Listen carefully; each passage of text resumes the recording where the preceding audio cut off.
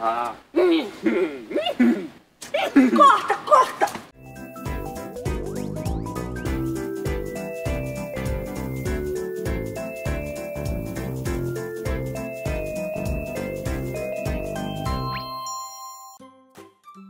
E aí galera, eu sou o Johnny! E aí, gente, eu sou a Vicky! E esse é o Kids Kids Adventure! Adventures! Adventure! Adventure! Adventure. Acertei!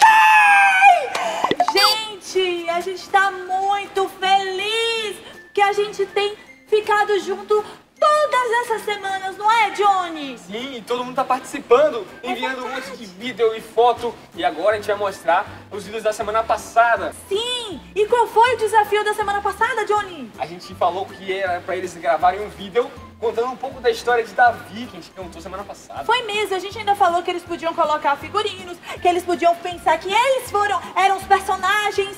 E eles mandaram muitos vídeos legais. Solta aí, solta aí. Solta, solta.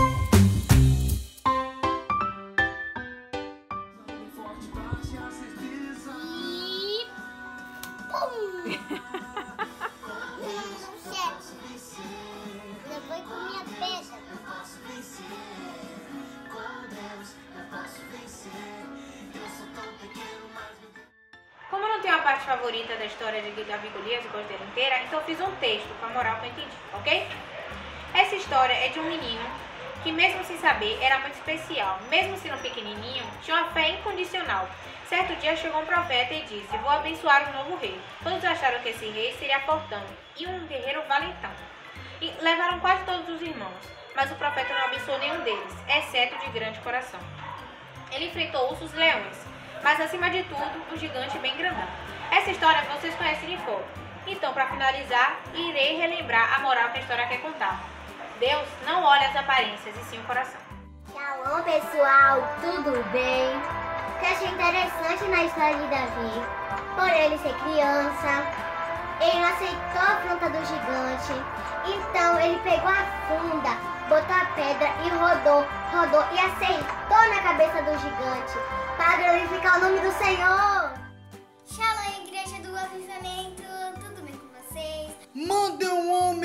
Lutar comigo! Eu que vou lutar com você.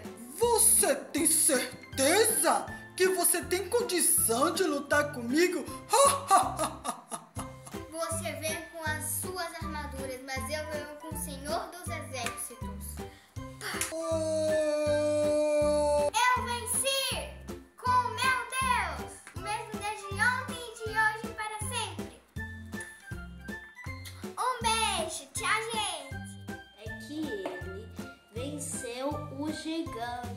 Golias, aquele. ó. Olha o tamanho! E então, Davi, ele venceu, sabe por quê? Porque ele tinha uma arma e jogou uma pedra na cabeça dele. Olha Davi aqui. Olha, ele tava segurando uma pedra aqui na minha mão. E toma!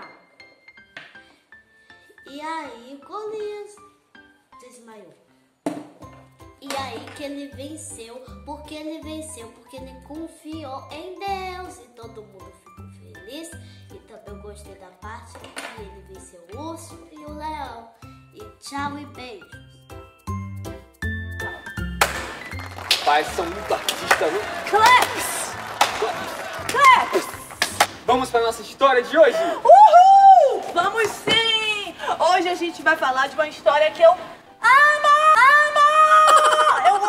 história. Ela está em Gênesis. Pera aí. Gênesis 6! Gênesis 6 é a história de Noé. e do seu zoológico! Não era zoológico, não. Era Ah, mas mim era! Pois é! Então, Noé. Noé era um homem justo e bom. Noé era- era um homem justo e bom. É, tá Ele andava com Deus. Ele era amigo de Deus. Verdade. E aí era o único homem bom naquele tempo, porque naquele tempo todo mundo era mal. Todo mundo era mal. E todos os meninos levados. Tá muito musical ela. É, tô feliz. Todo mundo era mal, todo mundo fazia tudo de ruim. Todo- E aí Deus ficou muito triste com isso. Tava muito triste porque as pessoas só estavam fazendo coisas ruins. E aí ele foi falar com Noé. Noé, meu filho. Oi Deus, que foi Deus? Fala aí. Meu querido Noé, eu tenho estado muito triste com este povo da terra. Eles estão fazendo muitas coisas más, Noé. Eles estão desobedecendo os meus mandamentos, Noé. Eles estão fazendo tudo de ruim. Eles estão mentindo. Eles estão roubando. Eles estão fazendo muitas coisas que têm entristecido meu coração, Noé. E por isso, eu vou mandar uma chuva para a terra. Um verdadeiro dilúvio, Noé. E vou destruir toda a terra. Mas Noé, não se preocupe. Eu vi que você é um homem segundo o meu coração. E vou salvar você e a sua família. Obrigado, Deus! Pois é, Deus é o cara. E aí, ele prometeu a, a- a- prometeu a Noé que ele ia salvar ele e a família dele.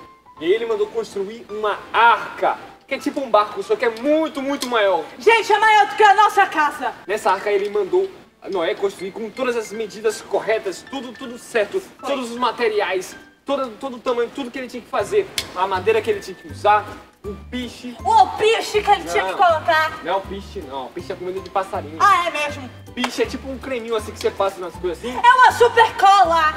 Ah, isso, por isso que Deus mandou colocar Porque a arca está lá no oceano. Eles não podiam morrer afogados. E aí, Noé começou a construir a arca. E ele construindo só construir, ele contou com a ajuda de dos seus três filhos. E a sua esposa. Mas, mas era super dele. A esposa cozinhava. Ajudava. né? E aí eles começaram a construir. E eles demoraram muitos anos, muito tempo, muito tempo, muito tempo. E as pessoas ficavam o tempo todo gastando com ele, falando: Ah, Noé é maluco, Noé é maluco, a arca é uma loucura. Eles não acreditaram na voz de Deus para Noé. Eles não acreditaram porque muito tempo se passou. Muito tempo se passou e eles acharam que não ia ter nada de chuva, nem dilúvio nenhum. Ah! Mas Deus falou outra coisa para Noé também. Noé, meu filho, E aí, Deus, que foi? na arca você também precisa colocar animais. Você precisa pegar um casal de cada animal que é imundo, tipo porco, essas coisas. E você precisa pegar sete casais dos outros animais: o leão, o, o tigre, o elefante, todos os animais, não é? Mesmo com toda a zoação dos- das pessoas que estavam lá, Noé continuou firme na sua missão. Acreditou na palavra de Deus e continuou a arca, construindo a arca. Verdade. Até que chegou esse dia. Ele terminou de construir a arca e aí ele começou a colocar toda a família dele dentro da arca. Pega, pega, pega. Essa aqui é a nossa também- E também colocou todos os animais que tinha mandado. Os animais começaram a chegar! Começou a chegar a girafa! Eu não sei imitar a girafa! Começou também a chegar os pássaros! Isso, todo tipo de passarinho. E a sua família dentro da arca! E aí o que que houve? Começou! Começou a chover. E começava a chover e não parava de chover. E só a família de Noé estava protegida. As outras pessoas, hum, tá chovendo, não tá chovendo, ai socorro, tá chovendo. E aí começou a água inundar tudo. As pessoas morrendo! As pessoas querendo entrar na arca! Aquelas pessoas que não acreditaram em Noé! E ó, todo mundo ó, morreu! Só quem ficou salvo? A família de Noé! Todos os animais. Junto com os animais! Ah! E vocês não sabem! Choveu durante 40 dias e 40 noites. Choveu muito, muito. Muito tempo, muito tempo. E aí, quando já tinha parado de chover esses 40 dias, a água ainda demorou 150 dias para descer o nível. Gente, 150 dias é muitos dias. Muitos dias. E aí, o que, que aconteceu? Na verdade, eu lembro. Noé entrou na arca quando ele tinha 600 anos. E ele só saiu da arca quando ele tinha 601. Então, quanto tempo ele ficou na arca com a família dele? Quase um ano. Um ano num zoológico. Não é zoológico, é ar. Ah, mas é legal pensar nisso. E aí, o que, que aconteceu? Tinha um pássaro que Noé ficava soltando. Uhum. É porque a água tinha baixado e eles tinham parado em um lugar lá. E aí ele começou a soltar o passarinho, soltou primeiro o passarinho pra ver se ele encontrava alguma coisa e soltou. Só que aí o passarinho voltou sem nada, voltou e Aí ele pegou e guardou o passarinho. Foi. Depois de um tempo, Noé teve de novo essa ideia e ele pensou em soltar esse passarinho de novo. Sabe o que aconteceu? O passarinho. voltou com uma folha de um ramo de oliveira na boca. Ah, isso quer dizer o quê? É um bico dela. Voltou com o raminho da oliveira. Isso quer dizer que as águas. Estavam baixando, já, estavam tinha baixando. árvore, já tinha planta. E aí, depois de mais sete dias, ele soltou de novo uma pombinha e ela não voltou mais. Significa que ela achou um lugar pra pousar. Uh, quer dizer que não tinha mais água na terra. Não, mas tinha água ainda. Mas estava baixando. E Noé e a sua família poderiam sair da arca junto com todos os animais. Todos os animais. E a família dele também. E não tinha mais arca. Todo mundo estava feliz. Todo mundo feliz, gente. E aí. Eita, cadê Noé? Pega Noé. Ai. Noé, E aí, depois que todo mundo saiu, Noé fez um altar pra Deus. E entregou ali uma oferta a ele. ai, que lindo. E nesse momento, apareceu pela primeira vez um arco-íris no céu. Gente, imagina um arco-íris no céu, como vários feixes de luz coloridos. Isso significa que Deus tinha uma aliança com Noé, e ele disse pra Noé que ele nunca mais ia destruir a terra com o dilúvio. Então por isso que, se mesmo que se chover muito, muito, muito, muito, não vai ter dilúvio de novo, hein? Não vai ter mais, Porque gente. Deus prometeu que não ia ter mais. E outra, aliança, gente. Sabe o que, que significa aliança, crianças? Significa quando a gente faz um acordo com um amiguinho nosso e esse acordo nunca pode ser quebrado. É pra sempre. Para sempre! Não importa o que aconteça, esse acordo sempre vai ser eterno, sempre vai existir. E é isso que Deus tem com as pessoas que são obedientes a Ele. Olha que lição dessa história pra nós, não é, Johnny? Isso, nós tem- temos que ser sempre obedientes a Deus, amigos de Deus. E assim Ele vai sempre proteger a gente, guardar a gente e vai estabelecer uma aliança com a gente. É verdade. E isso já nos leva ao nosso desafio, ao nosso desafio dessa semana. Gente, a ideia é o seguinte: você vai pegar uma tela de pintura, ou pode ser um Papel. um papel, Caderno de desenho. um caderno. Você pode pegar hidrocor, tintas. Você pode fazer o que você quiser e você vai fazer um. Arco-íris! É mais um, um quadro da- do momento em que Noé desceu da arca e tá lá o arco-íris no céu.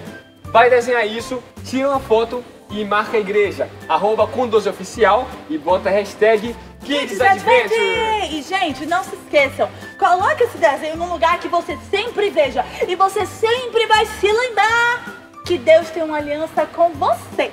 Ai, que legal! também. Comigo também, vamos fazer esse desenho agora? Então, vamos a gente vai fazer o nosso desenho. Tchau. Então, tchau, crianças! Tchau, até a próxima! Até!